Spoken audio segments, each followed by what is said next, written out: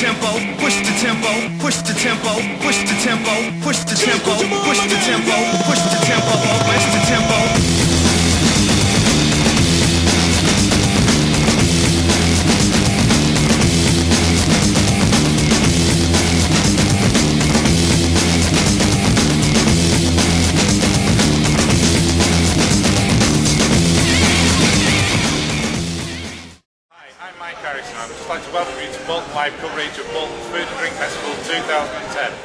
Hello, it's Pete from Bolton Live and I'm here from the Bolton Food and Drink Festival. I've got Thomasina Miers here. Thomasina, long time no see. Yeah, it's going great. I love Bolton. It is one of those great things. We've just been sitting there watching one of the demonstrations. The crowd is completely immaculate. Oh, uh, I've got a question. Is Bolton uh, a tougher judge than Jerome Greg? do you know what? I They're much nicer than John and Gregg. John and Gregg, they're let me see, was the texture right? Was it hot enough? Was it cold? Yeah, no, definitely better. More reception here. Exactly. The food fair brings everyone together, it? Food being one of those great things. Uh, the food, food unites people across all barriers, all religions, all class, all age. It's great. I love food. And what a beautiful day it is here as well. I've got one quick question. Yeah. I know when you were younger you wanted to be a dancer. So how come you got into food? Well, you know what? It was one of those things. I think I was like a moth drawn to the flame. I like tried to escape and escape and escape, and I got nearer and nearer. And in the end, you know, I just love cooking. I love food. I think it's such a pleasurable thing. Nothing I like better than to whip up a few easy recipes and enjoy it with family. Exactly. Simple, honest food is Yeah, what it's all about. yeah. Rather than sitting there fiddly little bits and pieces. Yeah, yeah. With a few simple ingredients, you can make something absolutely gorgeous. Yeah, exactly. So will you be coming back to Bolton? Definitely. I'll be hopefully be back next year here. Hopefully before that as well. Um, I know that games just in season. We've all like the parsnips coming, juice and logic. So I'd love to come back to the market, do some proper shopping. Probably shopping in Bolton Market. Well, Yeah. it's been really nice talking to you. Thanks for having a chat. All right, Um, stay tuned, viewers. Hi, it's Emma Bolton Live, the 2010 Bolton Food and Drink Festival, in the Rangemaster Cookery Theatre. And let's face it, I'm in an unfamiliar kitchen with two bikers. It's got to be Saturday morning again. So, You're not wrong, Em. I tell you, you're not wrong. It's all going to all be wrong Friday night. You woke up somebody else's kitchen, surrounded by hairy men. What's new, girl? uh, absolutely nothing. That's what it's like working for the BBC. It's not, we're getting new stuff. No, I mean the Bol- Bolton Broadcasting Corporation. got to be done. Okay, so you guys got a new book out now, haven't you? Yeah, another one.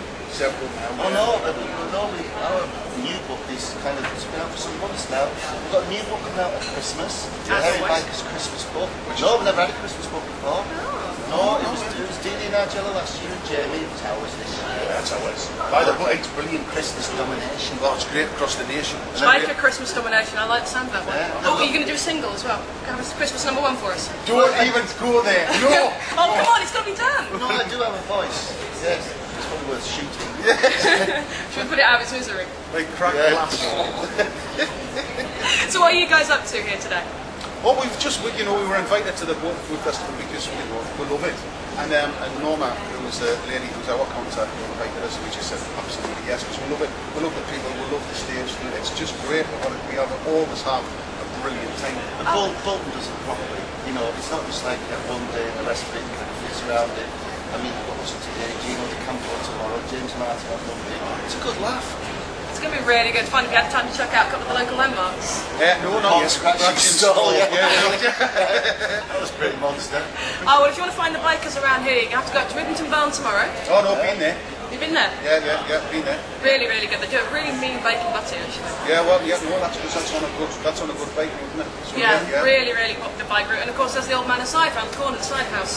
Ah, yes. Now, we haven't been there. It doesn't really mix with the bike. Yeah, because can't. We've driven past it and wept. Yes. Yeah. Wept even. We've wept. Well, you're still around tomorrow, you can go tonight. I cannot go because we're away. We're, we're, listen, we're busy people. We're hoping Gino De going to take us out for a spike pop. Oh. That he's Ferrari. He's got Ferrari, you know. Red one. Red Ferrari. And the, and So the, why am I doing this interview then? and the, don't know. we don't know. We just thought you know. See, I should be here tomorrow. he's got, Gino's got his red Ferrari. James Martin's got an Audi R8. We've got an Actor Light car. And the bikes are in Ireland. Before you asked. Why are the bikes in Ireland of all? Filming that. First thing Sunday. Monday. Monday. I to Ireland tomorrow. Oh my god, so you're flying out tonight then? No, tomorrow Tomorrow morning. morning. Gosh, where are you, whereabouts in Ireland do you go? Northern Ireland. One of them. Belfast, there's some Munch up in the top. Ah, so you'll be on the Guinness rather than cycling. Ah, I might have. We can have a look and, you know, see what... Probably totty totty.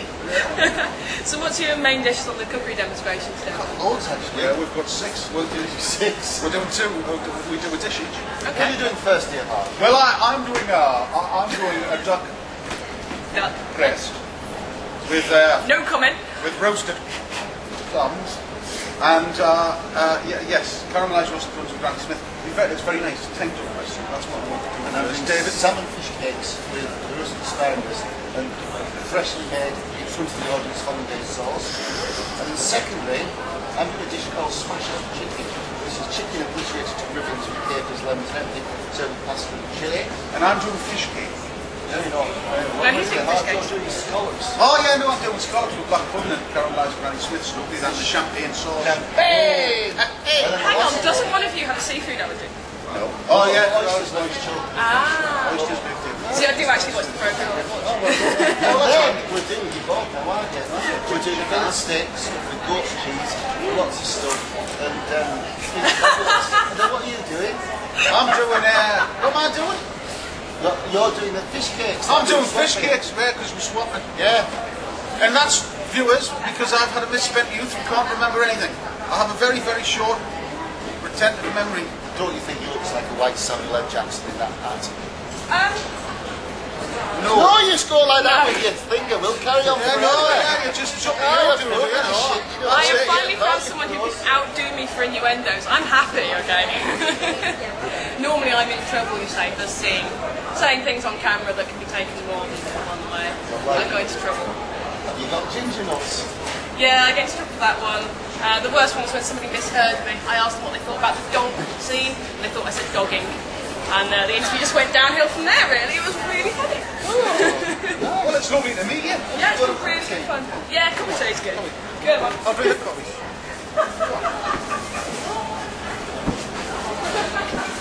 Hello, it's Pete here from Bolton Live, and I'm stood here with Gino D'Acampo. Gino, Buongiorno, buongiorno everybody. welcome to Bolton. Oh, that's, that's a pleasure to be here. I This understand you just rushed all the way down from this morning. Oh yes, I have. Yes, I've been there all week cooking. Today was uh, this week has been a Gino's pasta special.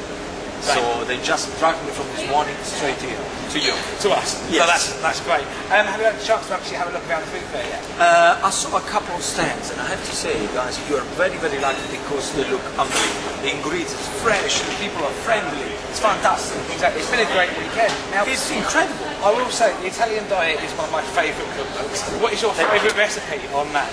My favorite recipe in there is the spicy meatball with rice. Right. Because I love that because my kids they always come in and they help me to make it. It's very very good, very tasty. And I've got this next question is what are you going to be cooking in your demonstration? But today I'm gonna make I'm gonna show them how to make a proper tiramisu. I'm gonna make a, a, a pork loin with Marsala wine. And then I'm show them how to make uh, tagliatelle with capers pesto. Really nice. I'm going to be at Italian all the way. I know. I'm going to be there. I'm not going home. I'm staying with this man right here. Well, Gino, thank you for talking to It's us. absolutely a pleasure. And hope And shout to everybody there. Mwah. Hello, it's Pete here, still at the Food and Drink Festival 2010. I'm stood here with James Martin. James, nice to see you again. Welcome back to Bolton. Yeah, it must have been good last time, so I've got an invite back. You got an invite back. Yeah, exactly. Um, do you think, best question I've got to ask you basically, I know we asked you last year, but healthy eating, how important is that?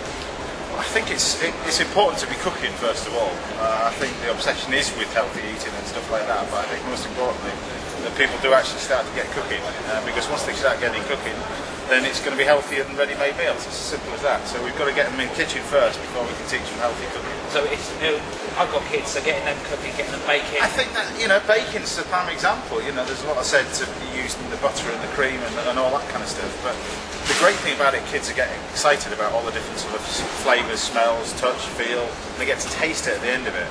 Um, and just small things like cakes, it's far better to make your own than to buy it. Yeah, exactly. And, and you get the enjoyment from it as well, and the kids get the enjoyment from it Exactly. Next question that I've got, what are you going to be cooking this festival? Uh, we've got uh, a little bit of bacon, uh, just a little bit, but uh, we've got uh, summer pudding because the weather's turned out nicely for us today. Uh, we've got loin of pork, which is actually quite an expensive cut of meat. So we're going to do that with a butternut squash pickle, which is done in about eight minutes. It's really simple stuff. Um, salmon with a sauce that takes literally about two or three minutes. Um, so all the dishes are cooked um, from scratch, and there's about four dishes per demo, and all the demos are different. So it's a mix and match of everything. And I hear rumours that you're working on a new book.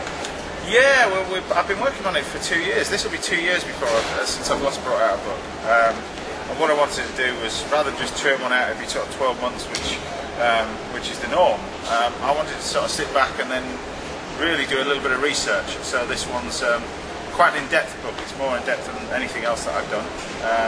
Almost goes back to basics. So you've got basics like how to join a chicken, how to carve a chicken, how to fillet a fish, all that kind of stuff, as well as what to do with them. So um, yeah, I'm looking forward to it. That's coming out about March time. It's about March time next year, so we're, we're in the process of just finalising the edit at the moment. The photography's done, uh, but as usual, cookbooks it takes forever to get to get one on the shelves. But yeah, I'm looking forward to it. Well, James, thank you for talking to us. That was great fun up on the stage. Thank you very much.